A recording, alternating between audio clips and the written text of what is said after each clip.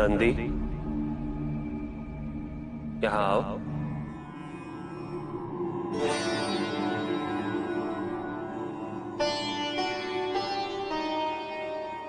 तुम तो जानते हो ना नंदी माता पिता के लिए संतान का सुख सबसे बड़ा सुख होता है। और सेवक के लिए?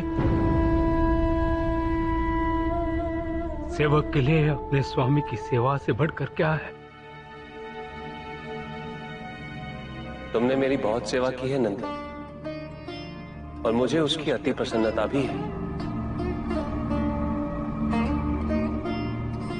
किंतु अब तुम्हारे पिता को तुम्हारी आवश्यकता है। प्रभु, क्या सब कुछ आवश्यकता पर ही निर्भर करता है?